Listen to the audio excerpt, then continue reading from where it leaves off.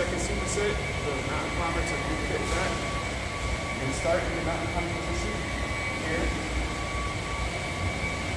Go mountain climber, get that down, switch.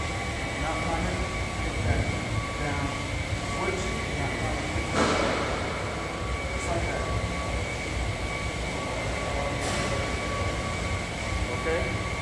Don't worry about the, the speed right now. Focus on that accuracy. Focus on tightening from the bottom of your core all the way up to the top. So that means calves, hamstrings, calf boards,